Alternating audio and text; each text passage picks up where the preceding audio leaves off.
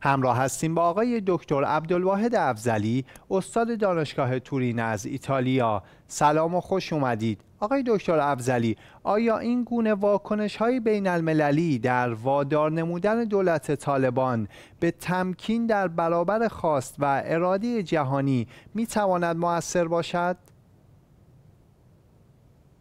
با سلام خدمت شما و بینندگان گرامی.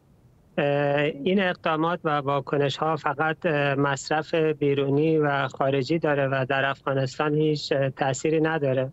خصوصا اینکه دیروز معاون سازمان ملل متحد اعلام کرد که ما همچنان با تعاملمون با طالبان ادامه می دهیم و بسیاری از کشورها روابط سیاسی نزدیک با طالبان برقرار کردن با وجود محدودیت های متعددی که طالبان برای شهروندان بس کردن اما این رفتارهای جامعه بین الملل در واقع طالبان را به صورت ضمنی تشویق می‌کنه که به محدودیت های خودشون و رسمی سازی و قانونی کردن محدودیت هاشون ادامه بدن.